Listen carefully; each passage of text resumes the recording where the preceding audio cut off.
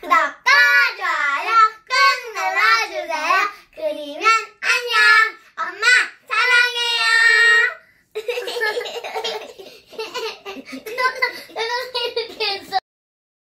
안녕하세요. 건양아 원장입니다. 오늘도 유튜브 댓글에 답을 드리려고 해요.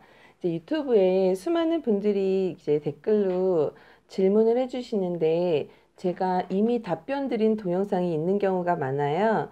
그래서 동영상을 쭉 보시면서 소제목과 큰 제목을 보시고 해당 부분을 시청하신 후에 네, 어, 엄마의 그런 궁금한 것들을 해결하셨으면 좋겠습니다.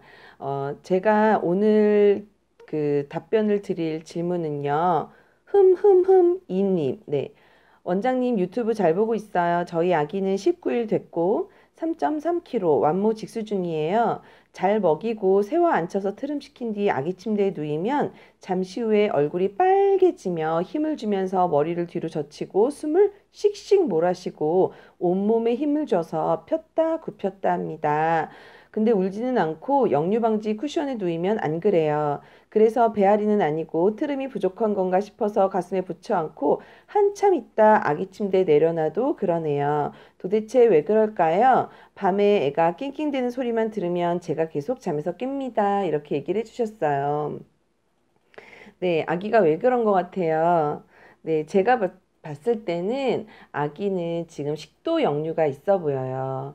아기들의 이 식도와 장은 소화기관은 미숙한 상태로 태어나고 어른들은 위가 이렇게 한번 꼬여서 이렇게 내려가는 반면 아기들은요 여기가 직선이에요. 그리고 식도 관략근이 있어요. 음식이 들어가고 나면 닫히는 부분이 미숙해서 누우면 여기가 열려요. 그래서 아기는 숨을 몰아쉬는 게 누우면 자 역류 방지 쿠션에 이렇게 앉아 있으면 아 우리 귀염둥이 이렇게 산발이냐 머리가 네 역류 방지 쿠션에 이렇게 있으면 상반신이 세워져 있으니까 역류가 하, 역류가 잘 되지 않는 거고 아기가 이렇게 똑바로 누웠을 때는 식도에서 이렇게 역류가 자꾸 일어나는 거예요. 그러면 이제 목구멍에 계속 이제 음식물이 먹은 모유가 올라오는 거죠. 그러면 아기는 이걸 삼키기 위해서 이렇게 하면서 삼키는 거예요. 그리고 가끔 숨도 이렇게 막 몰아쉬기도 하는 거예요. 안타깝다. 네. 그러니까 이제 아기는 지금 여기 식도 관략근도 미숙하고 이제 위도 워낙 조금해서 먹은 것들이 꽉 찼을 때는 자꾸 위로 솟고 이러는 거거든요.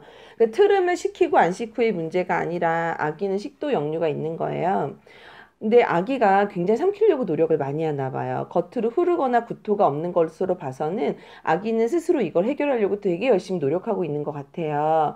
그래서 엄마 저는 아기가 너무 이것 때문에 숨을 못 쉬고 누워 있는 것을 힘들어 하거든. 역류 방지 쿠션 위에 이렇게 눕혀 놓으셔도 되세요. 역류 방지 쿠션 위에 아기가 약간 고개가 이렇게 제껴지고 이렇게 누워 있는 정도면 좋아요. 제가 전에 말씀드렸죠. 여기다가 수건 하나 이렇게 말아서 끼우면 아기를 좀 더 올려서 눕힐 수가 있다고. 역류 방지 쿠션 위에 이렇게 있으면 아기가 좀 더 힘들어해요. 역류 방지 쿠션을 이렇게 미끌려서 이렇게 있게 하지 마시고 약간 수건을 올려서 아기를 이렇게 약간 고개가 제껴지고 식도 관략근이나 식도가 이완될 수 있도록 이렇게 네, 눕혀주세요. 식, 어, 역류 방지 쿠션 위에 눕혔을 때 아기가 허리를 다칠까봐 걱정돼요 하면서 잘 못 눕히시는 분들이 계시는데 괜찮아요. 괜찮고 이제 19일 정도 된 아기들은요. 이렇게 침대 위에 이렇게 눕혀, 눕혀놓으면 이렇게 바르게 눕혀놓으면 힘들어해요. 고개를 약간 왼쪽으로, 네, 왼쪽으로 왼쪽으로 살짝 살짝 이렇게 돌려서 눕혀 주셔야 돼요. 그래서 자 이게 똑바로 눕혔을 때 아기가 이렇게 되도록 좀 눕혀 주세요.